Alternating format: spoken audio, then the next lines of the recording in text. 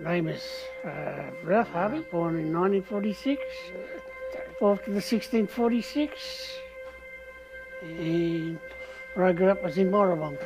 No, I was, lost my sight in when I was 20 year old. I've got a syndrome called Laurence Moon Biedl. Yeah, I could see the birds and uh, hear everything. Yeah, I could. I could walk, see everything around me. Yeah, things like that. And when the lights go out, you, you, lost, you lose it all. And you get four senses. Oh, I just went blurry. Then the lights went out. Couldn't see anything. Nothing, no, can't see nothing. I can hear, but I can't see. Completely dark. Hearing is very good. I can hear clearly. I made, uh, because my eyes take over, took over from my sight. Like, like your ears are like your, like your eyes. And it's very sensitive. I can hear more things when other people can't hear.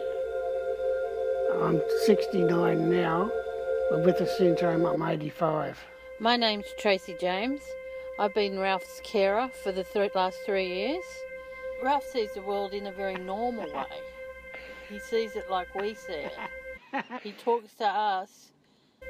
It, he talks to us the same as we talk to each other, understandings or anything. And he he's very astute.